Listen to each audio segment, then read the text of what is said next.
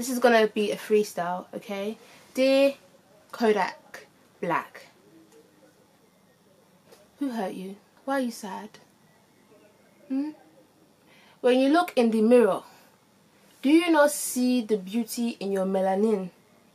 So much so to the point where you hate the woman that can't share the same melanin. I don't understand. It's quite simple. If you look in the mirror and you cannot love what you look like and who you are, when you see that reflected in other people, you simply cannot bring yourself to love them either. And, you know, I was watching this YouTuber, Angel Jordan Ramirez, and he said men, they, um, they reflect their self-hate on other people and women internalize. And so a man, when he hates himself and he hates his blackness and he hates his culture, his features, where he comes from, his heritage, he then reflects that on the women who share those same features, those same looks, and those same the same heritage. And women, when we hate ourselves, we internalize, and so that could lead to bleaching um, and to other things to alter the appearance because we've internalized that self-hate.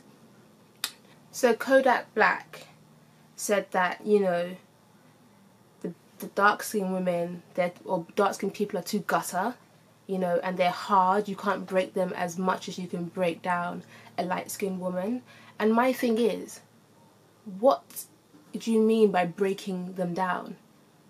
What does that mean? And why do you want to break a woman down? That's the first question. You know, only an insecure man feels the need to break down a woman in order to feel like a man. If you're a, whole man within within himself, there's no need for you to feel like you have to break a woman down in order for you to love her, respect her, protect her, or treat her like an equal. There's no need for you to want to break her down. If you want to break someone down in order for you to feel comfortable with them, if you can't be on their level and you have to be above them, then that's an issue in it. That's something you need to address. Kodak Black, do better, okay? I have to go because I can't record anymore because my mom's home and it's going to be noisy. But do better. We are not gutter, we are queens, okay? Oh yeah, you know I ride and die for you. I ride and die for my baby. I ride and die. I ride